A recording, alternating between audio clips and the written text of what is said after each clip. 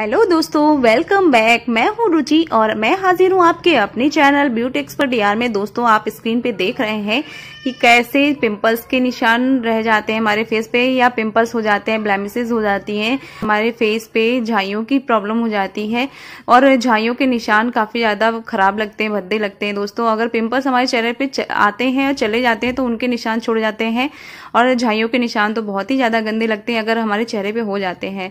यहाँ तक कि आपके फेस पे और भी कोई प्रॉब्लम है छोटे छोटे से दाने हैं या रेडनेस है तो वो भी जो है आज की जो रेमेडी है बहुत ही ज़्यादा इंपॉर्टेंट है। दोस्तों, बहुत ही ज़्यादा इंपॉर्टेंट है, लेकिन उससे पहले अगर आप हमारे चैनल पर नए हैं तो चैनल को सब्सक्राइब कर लीजिएगा लाइक कर दीजिएगा और शेयर कर दीजिएगा। दोस्तों, आप खीरे के बारे में तो जानते ही होंगे, सभी लोग खीरा खाना भी पसंद करते होंगे। बहुत ही ज़्यादा हेल्दी है दोस्तों, हमारी सेहत के लिए। लेकिन आप जानते हैं कि खीरा हमारी सेहत के साथ साथ हमारी स्किन के लिए बहुत ही ज़्यादा इंपॉर्टेंट रखता है दोस्तों क्योंकि खीरे में B C vitamin K copper magnesium potassium manganese सबसे महत्वपूर्ण है सिलिका जैसे आवश्यक पोषक तत्व तो इसमें मौजूद हैं दोस्तों बहुत ही ज़्यादा फा, फ़ायदा करते हैं हमारी स्किन को हमारी स्किन को हाइड्रेट रखने में काफ़ी ज़्यादा मदद करते हैं। ये खीरा जो है हमारी त्वचा के लिए बालों के लिए बहुत ज़्यादा फ़ायदेमंद है। इसके जो पोषक तत्व तो हैं इसमें जो अवशेष हैं वो बहुत ही ज़्यादा फ़ायदा पहुंचाते हैं हमारी बॉडी को।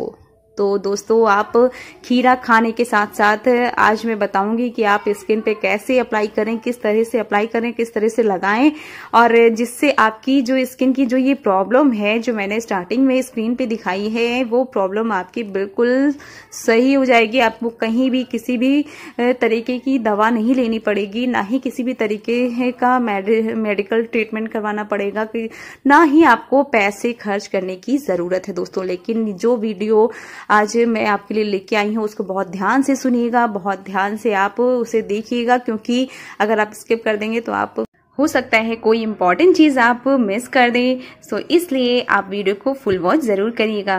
तो यहाँ पे मैंने आधा खीरा लिया है दोस्तों। और खीरे को बिना छीले ही मैंने कद्दूकस किया है।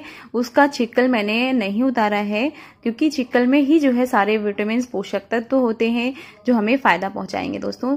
तो यहाँ पे कद्दूकस किया हुआ खीरा लिया है और इसके बाद जो है खीरे में काफ़ी ज़्यादा रस होता है तो इसको जो है मैं थोड़ा सा इसका जो एक्स्ट्रा जो जूस है वो निकाल दूँगी, ठीक है? तो एक्स्ट्रा जूस निकाल के इसको फेंकेंगे नहीं, इसको मैं अलग यूज़ में लेके आऊँगी। तो इसका जो एक्स्ट्रा जूस है उसको क्या करना है, आपको मॉर्निंग में अपने फेस को वॉश कर लेना है। कच्चे दूध से अपने फेस को वॉश करना है, ठीक है? इसके बाद आप खीरे का जो रस है, उसको अपने फेस पे इस तरह से लगाएँगे, ठीक है? सुबह सुबह का ये वर्क आपको करना है। अपने फेस पे इस तरह से पूरे फेस पे आपको खीरे को लगाना है। नेक से फेस से लेके नेक तक आपको इसको अप्लाई करना है। और अप्लाई करने के बाद आप इसे छोड़ सकते हैं। लेकिन इस चीज़ को ध्यान रखिएगा कि आप पहले कच्चे दूध से अपने फेस को वॉश करेंगे और फिर इसे लगा लेंगे। ठीक है? इसको ऐसे लगा लेंगे, इसमें कुछ भी नहीं मिलाना है आपको और ऐसे ही मॉर्निंग में लगा लेना है। ठीक है?